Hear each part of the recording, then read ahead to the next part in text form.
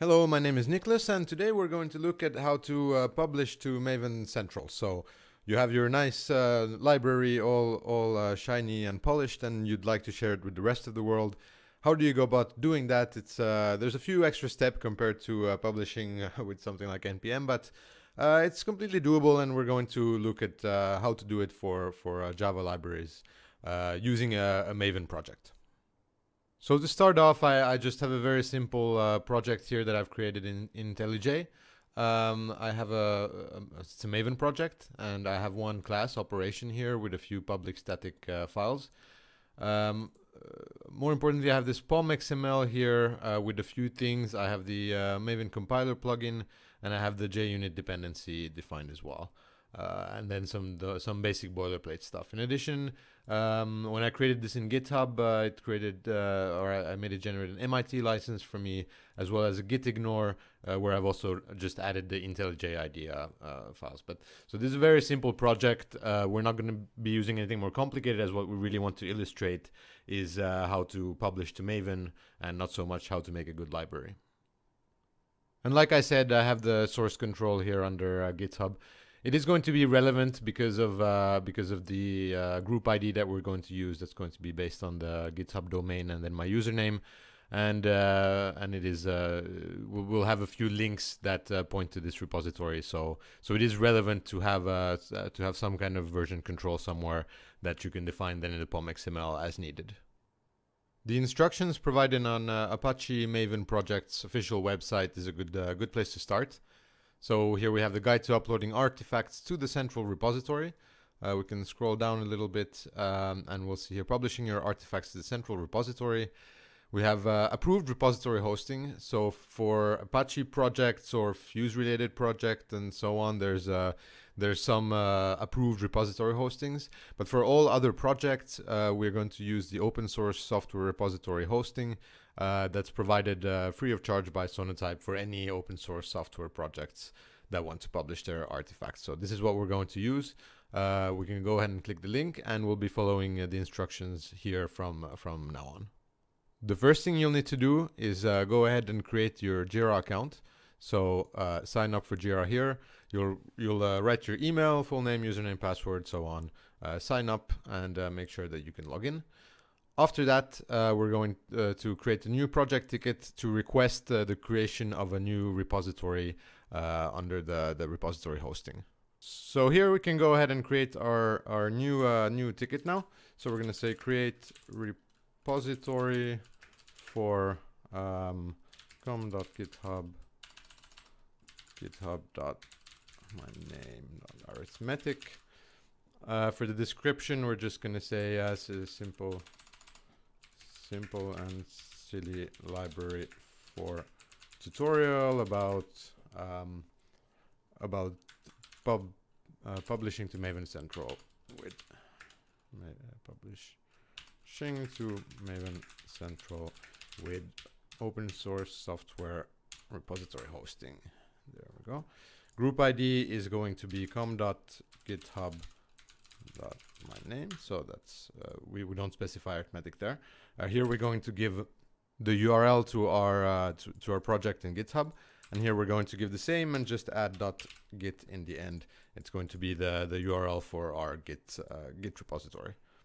Uh, if you want to add anybody else uh, or give access to or, or, give permission to somebody else to also deploy artifacts, you can add their usernames here if they have an account already on on OSSRH. And uh, and here you can specify if you if this is already an existing project or something, but but just leave it at no if this is a new one. And then you can go ahead and just click create. As you can see, a new ticket will be created um, with st with status open here. It's going to be assigned to somebody. Um, you can keep uh, watching the issue here, and you'll receive notifications about its progress. It's going to take a while um, while here to to get this ticket closed and get your repository created. While we're waiting for our ticket, uh, we could take a look here um, further further down in the instructions and take a look at the rev reviewing of the requirements. Uh, so for the details, it says see central component requirements. Let's jump there. And uh, let's have a look here. So One thing we're going to need is to supply the Java docs and sources. Uh, this is something we're going to handle with Maven and we'll return to this a little bit later.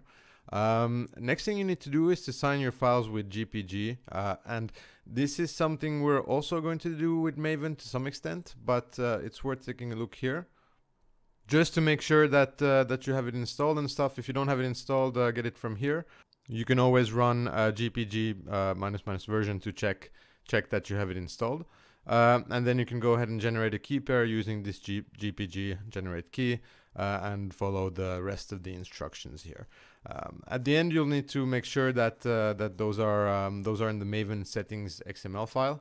But uh, but we're not going to go through these instructions in detail. Uh, we'll we'll return to this a little bit when we'll see how to to um, sign our files with uh, with Maven later on. But uh, make sure you have these generated, uh, generated, make sure you have the GPG keys on your computer. Let's get back to the requirements for now uh, and go go forward. So sufficient metadata, and this is what we're going to go over now. Uh, so this is all the information that is required to be found in your POM XML when when uh, when deploying this, so or when publishing this. So let's go through this one by one here. So we need a group ID, check, we have that. Um, then we need an artifact ID, we have that as well, arithmetic here. Uh, we have a version. We're going to keep this at uh, 1.0 snapshot.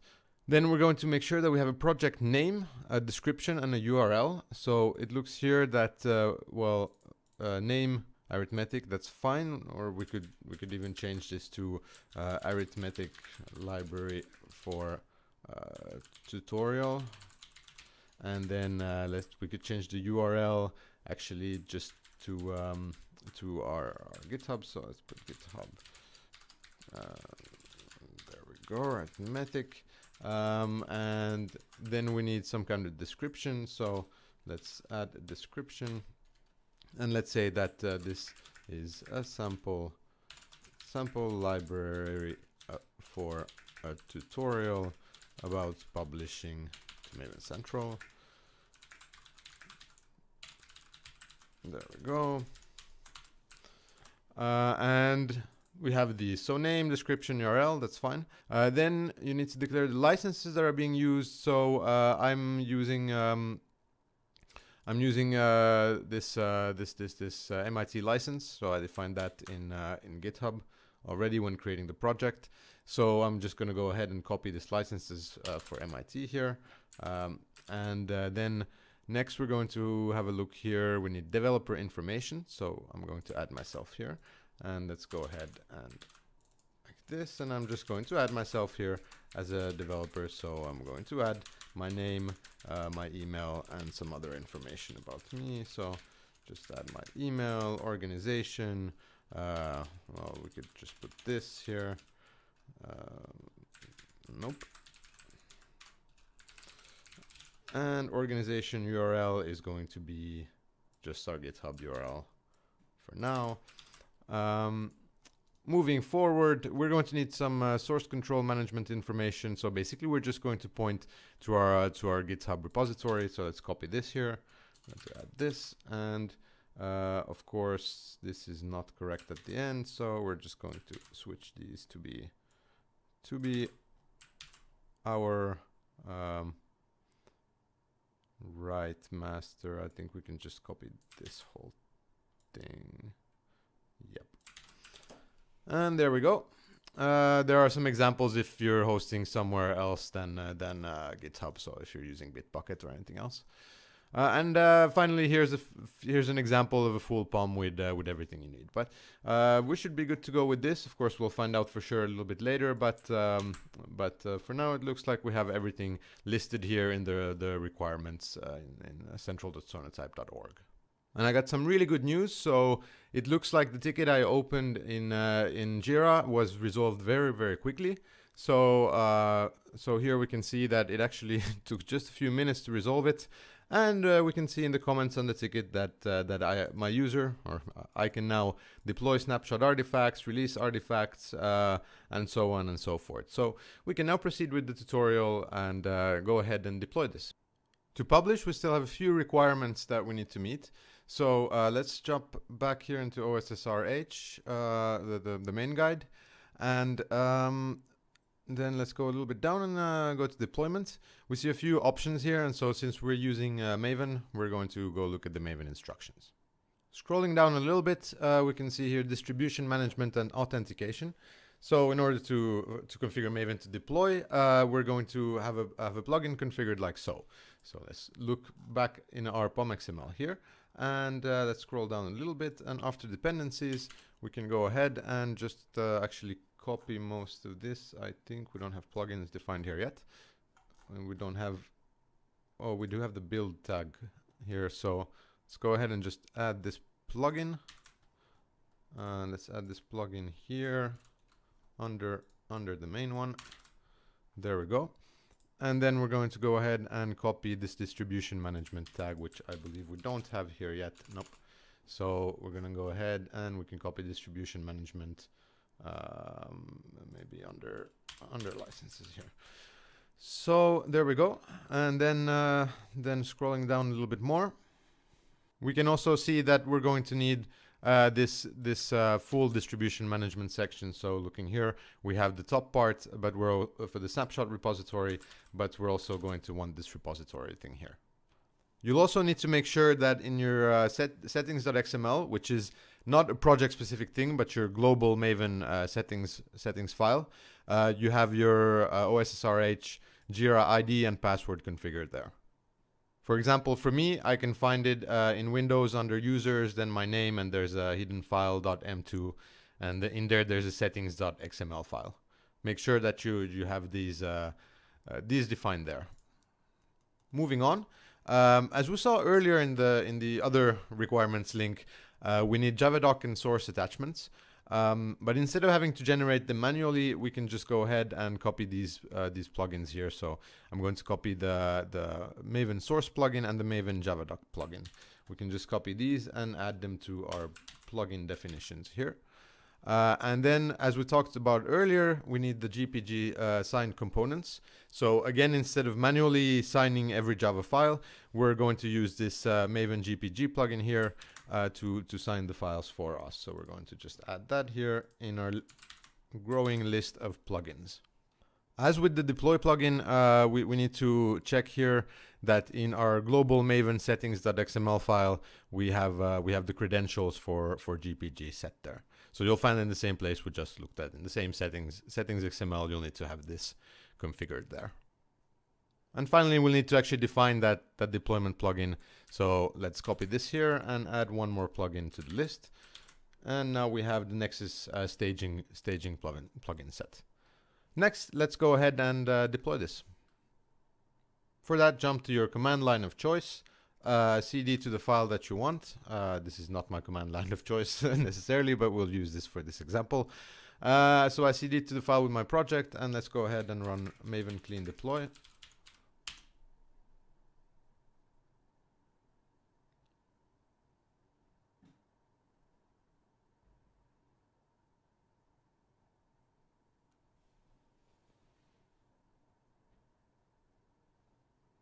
So we got a build failure here, uh, and scrolling up a little bit, we can see that it says that build plugin plugins must be unique and that it found a duplicate for uh, org sonatype plugins Nexus Staging Maven plugin.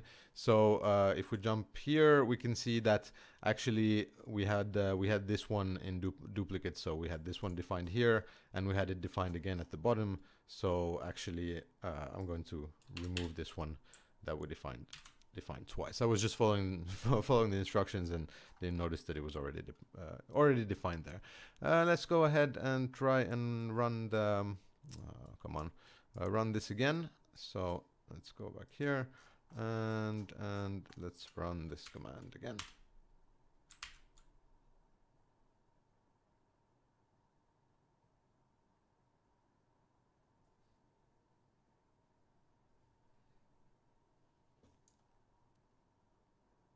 Looks like looks like it says unauthorized here.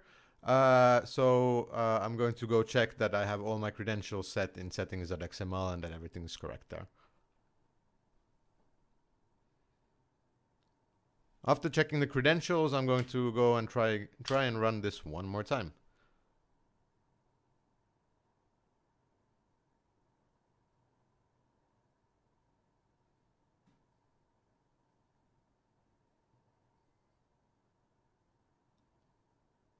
And this time it looks like we were successful.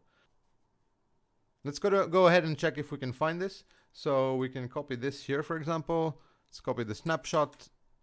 Uh, I wonder if that was copied. Should do that again. Yeah, that was copied this time.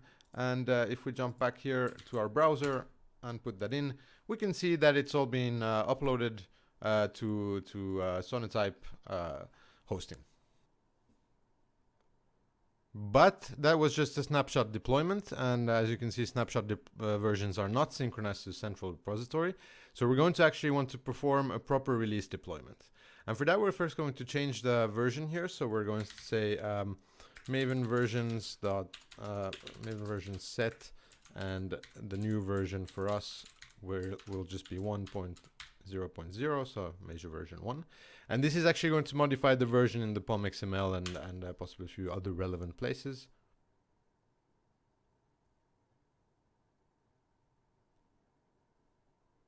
And now that we're done with that, uh, if you might want to commit this to version control because this will have done some changes to your uh, to your POM XML and have set the version there. But now we can go ahead and um, run the command uh, maven clean deploy and we're going to give the parameter release here like so.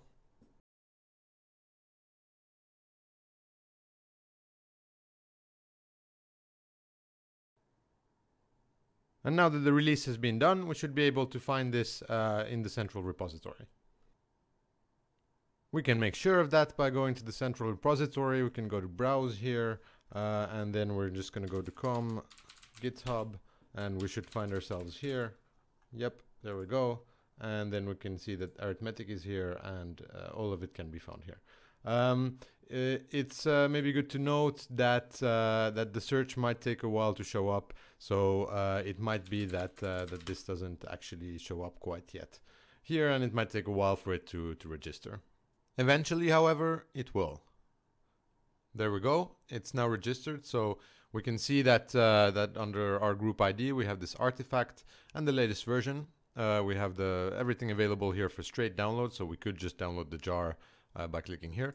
But if we uh, jump here, we can see uh, under this version, we have the dependency information for, for all the common uh, dependency management systems for, for Java. So we have Maven, we have this Buildr that I'm not familiar with at all. Then Ivy and, and Groovy, Groovy and so on and stuff for Scala. So uh, now we could just provide this to somebody, they could add it to their project, and they could use our uh, admittedly useless arithmetic functions for, for big decimal types. If you are using uh, GitHub, one more cool thing that you can do is uh, add the, the, the Maven badge here. So if you edit your README, you go to README and click edit here.